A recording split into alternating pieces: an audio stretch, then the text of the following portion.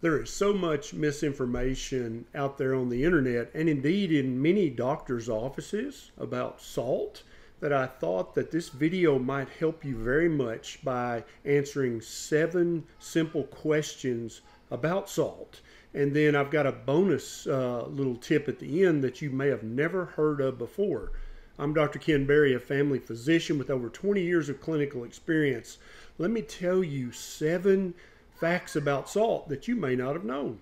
Number one, salt is absolutely essential for life, and enough salt is essential for optimal health. There are many doctors out there that imply that you need to try to eat as little salt as possible, uh, implying that zero salt would be the goal. This is absolutely untrue. It's unfounded in science or physiology you need to salt your food to taste to realize optimal health. And this includes even people with congestive heart failure. The research is very clear that if you don't eat enough salt, your health is going to suffer. The second fact about salt is that eating salt does not give you hypertension. This is a myth that is slowly but surely dying across the world. It was very popular a few decades back, and some uninformed doctors still repeat this lie uh, to their patients, and their patients suffer because of it. Salt will not give you high blood pressure, and it will not make existing high blood pressure worse.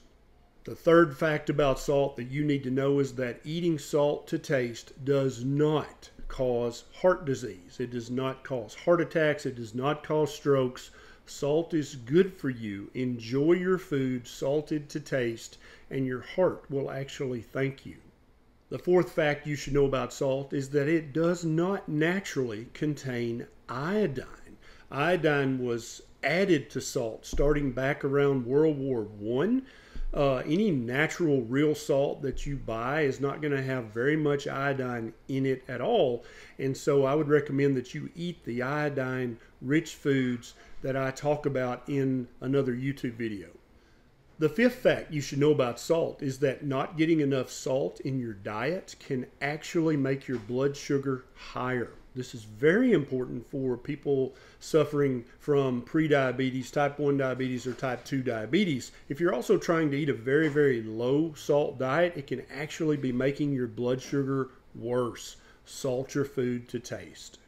The sixth fact that you need to know about salt is that much of the artisanal salt that you can buy uh, in grocery stores, the uppity frou frou salt, it often comes from evaporated modern ocean water.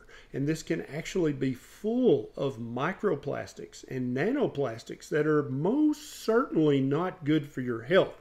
What you want is a salt that is mined from deep underground.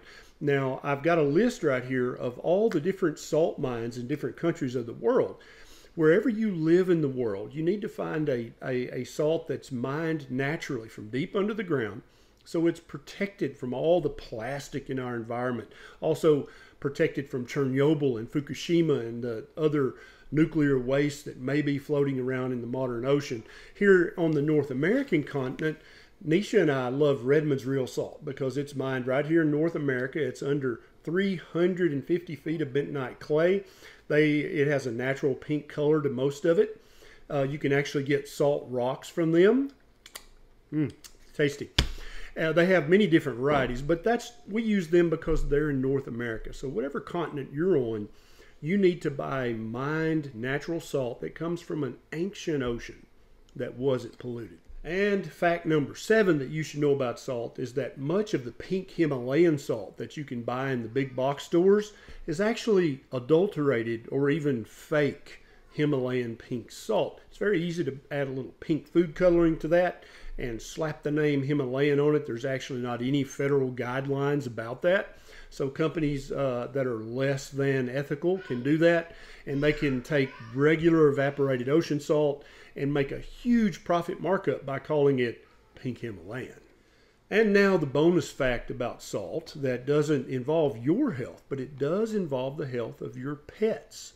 See, the fact is that every mammal on the planet also need salt. just like you do. And so make sure that you give your cats and dogs and any other mammals that you may be in charge of their diet, make sure they get a little salt too because they need it for their health. If you know someone that still has a salt phobia, please consider sharing this video with them. It might change their mind and it could improve their health.